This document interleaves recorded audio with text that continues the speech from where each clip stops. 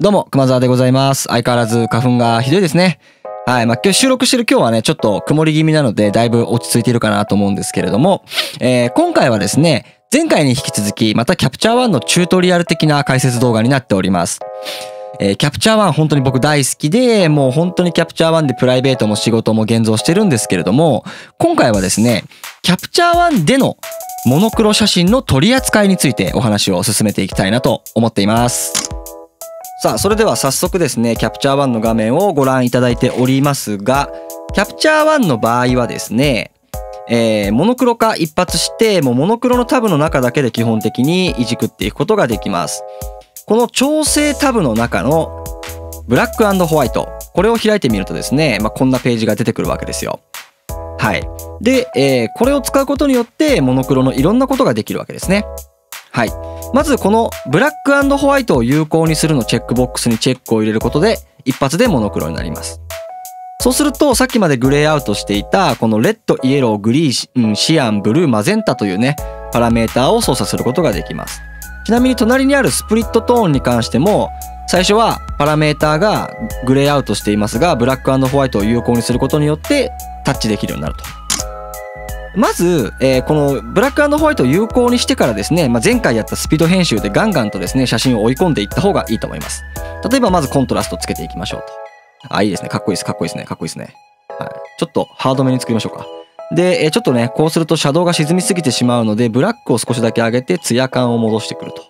ツヤ感を戻してくると。はい。ツヤ感を戻していくと。いいですね。で、ちょっとこれ、そうですね。ストラクチャーを下げていくことによって、写真自体をちょっとぼやかしてしまおうと。で少しだけ柔らかくしたいのでクラリティでちょっと柔らかくしていくと。はいいい感じですね。うん。ちょっとハイライトがどぎついかな。ちょっとだけ落としておいて。うん。こんぐらいでいいんじゃないですかね。こっからですねモノクロ特有のこう仕上げ方というかいろいろできることがあったりするんですよね。はい。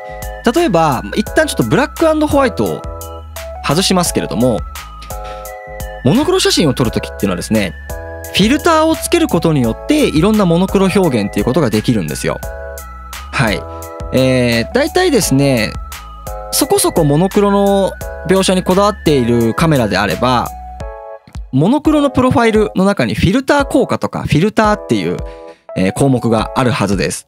でその中で赤とか緑とか青とか黄色とかそういうの選択できるんですよねこれ何に由来しているかというとそもそもモノクロ写真を撮るときにですね、レンズの前玉にですね、赤とか黄色とかのその感触性のフィルターっていうのをつける、つけて撮影することによって、いろいろなこうモノクロのコントラストをですね、楽しむことができるんですね。はい。で、このカラーフィルターっていうのは、えっ、と、補色の関係に対して、えー作用するものになっています。はい。例えば、赤いフィルターをつけて撮影した場合、赤いものは明るく映り、赤の補色にあたる緑や青は暗く映ってきます。はい。逆に青や緑のフィルターをつけると、青や緑は明るく映り、補色にあたるオレンジや黄色や赤というものは暗くなってきます。はい。で、このフィルターを操作するパラメーターが、この感触性というタブの項目です。もう一度ブラックホワイトを有効にします。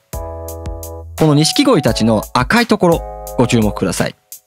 このレッドのパラメーターを右にぐんとやっていくと明るくなるんですね。はい。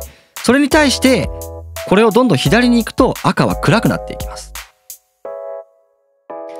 えーレンズの前玉にフィルターをつけた時と同じような作用をしてくれるのがこのレッドです。あ、レッドじゃなくて感触性というパラメーターです。逆に、じゃあブルーというところを触ってみましょう。このブルーを上げていくとですね、こういう風に映るわけです。はい。じゃあグリーンも触ってみましょう。はい。こういう感じになるわけです。イエロー。はい。こういう感じで、実際はフィルターをつけた場合、さっきも言った通り、えーコントラストがつくわけですね。なんですが、この感触性というのは、えーフィルターをつけた同色のものが明るくなるという性能のみあるいはある特定の色に対して暗く出すか明るく出すかっていうことだけが操作できるんですだからレッドのパラメータをいじったからといってブルーや緑に影響を及ぼさないんですよなので印象的な赤はもっと黒く見せたいということでちょっと赤をディープに見せていく。とかっていうことが可能になってくるということでございますね。それでは次にスプリットトーンの解説なんですけれどもスプリットトーンっていうのはえっ、ー、と明部と暗部。ね、えー、ハイライトとシャドウ。それぞれに特定の色相と特定のサイドを乗っけることによって印象的な写真にしていきましょうよっていうのがスプリットトーンです。はい。僕が好きなのは、シャドウ側にこう色相でだいたいこうティールら辺を入れて、ちょっとサイド持ち上げてあげると、極端にやると、はい。シャドウにティールが乗るわけです。で、今このサイドマックスにしてるので、これでいじっていくと、青を乗せたり、ね、ちょっとこう、冷黒色のような感じになったり、ちょっと紫が乗っかってきたりとか、はい。こういうね、こういうことができるわけです。逆に、ちょっとこの辺の汗た感じにね、この辺がいいかなはい。こういう感じにして、で、こっちもちょっとサイドマックスにして、なんか気持ちのいいところ、気持ちのいいところ。はい。この辺を少しこう、乗せた。はい。セピアの出来上がりですよね。はい。セピア写真の出来上がりです。サイドがゼロになっていれば基本的に色相にが乗るということはないんですけれども、えー、イメージで言うとハイライト。ハイライトは白い部分ですよね。なのでえー、っと印刷する紙印画紙の色を決めるようなイメージです。はい。例えばちょっと茶番だ紙に印刷をしているからハイライトはこんな風に出てくるよねと。ね。でシャドウ側は載せるインクの色だと思ってください。はい。例えばちょっと一旦サイドマックスにしますけれども、えー、ちょっと、ちょっと青みがかったインクを使ったので、こういう写真になるというイメージで使っていくと、えー、もうワンランク上のこうモノクロっていうものが扱えていけるんじゃないかなというところですね。もう一度感触性に戻りますが、これでレッドを少し暗く。暗くしていく、暗くしていく、暗くしていく。ね。はい。で、ちょっと黄色が出てたりするので、黄色は明るくしていく。黄色は明るくしていく。黄色は明るくしていく。はい。とかね。ちょっと緑落としていこうかと。すると、その苔の部分とかが実は結構落ちてきたりとか。まあ、こういう感じで、モノクロ写真をより印象的に作っていくことができるんじゃないかなと思っています。ちなみにこのリファインタブでえー、シャープニングとかノイズ除去っていうところが選んでいけます。シャープも外してしまって、これはあくまで僕の好みですからね。ノイズも全部外すと、まあ、こういうところに少しノイズが乗ってくるかなと思いますし、さらにですね、このフィルム粒子を選んでいくとノイズを乗せることができます。例えばシルバーリッチにしてインパクトを上げていくと、まあ、こんな感じでノイズが乗っかってくると。このフォーカスっていうところでですね、割と今100%表示当倍表示になってるので、ここでちょっとノイズの乗り方を見ながら、こんぐらい乗ってると空気感出ていいんじゃないかな、みたいな。ちょっとハーシュグレインにしてみようかと。あ、結構粗めだね、と。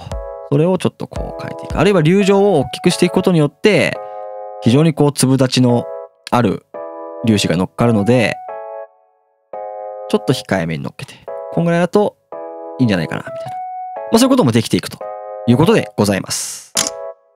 はい、ということでいかがでございましたでしょうかもう私はですね、もうモノクロ写真大好きなんですよ。はい、もうプライベートのスナップはもうバンバンモノクロでしたいくらい。もうほんとモノクロセンサーでいいよと。ライカの Q2 でいいよと。Q2 モノクロームでいいよっていうくらいモノクロ大好きです。Q2 モノクローム持ってないけどね。なので、どんなカメラを使う時も僕は結構モノクロを愛して使っています。その時に、キャプチャー1。いかがでしたか？もうすごくモノクロにこだわれるでしょ？これがね、唯一、そのプライベートでも、仕事だけじゃなく、プライベートでも、ああ、キャプチャー1いいなと思えるポイントでございます。はい。ということでいかがでございましたでしょうか？えぜひね、参考になった方ですね、チャンネル登録、グッドボタンよろしくお願いいたします。そして Twitter、Instagram もぜひフォローしていただけると嬉しいです。それではまた次回の動画でお会いしましょう。小沢でした。